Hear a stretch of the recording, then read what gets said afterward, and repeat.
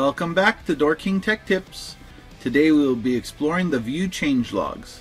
The view change logs show us which user ID has made a change to the resident file. To view the change logs you will need to navigate to the resident screen. So click the plus sign next to your account folder on the left, then click on resident under your account folder.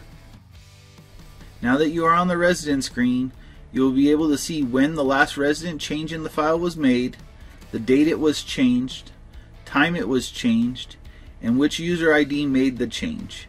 To view more changes and see what was changed, click on View Change Log.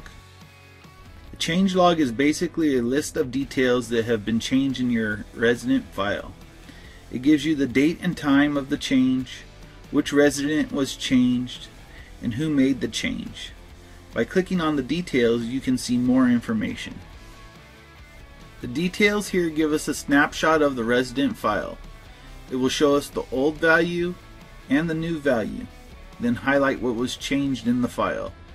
In this log, the entry code was changed to a different number. As you can see in this example, if you have more than one thing that is changed, you will get multiple highlighted lines.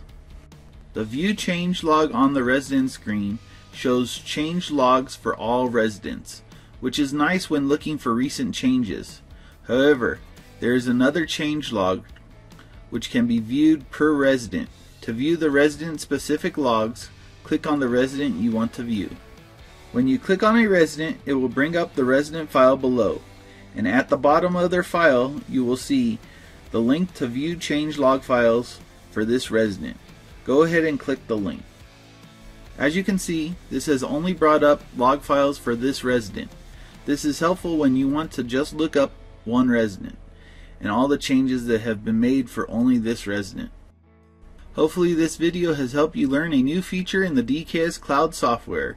Please comment below and see our other video how-tos at the top of the page. And we'll see you next time for more DoorKing Tech Tips.